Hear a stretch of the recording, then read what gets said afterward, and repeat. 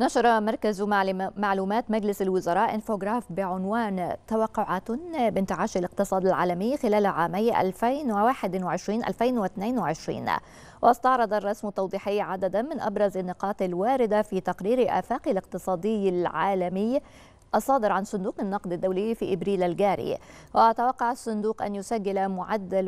نمو الناتج المحلي الإجمالي لمصر 2.5% في عام 2021 وصولا إلى 5.7% في 2022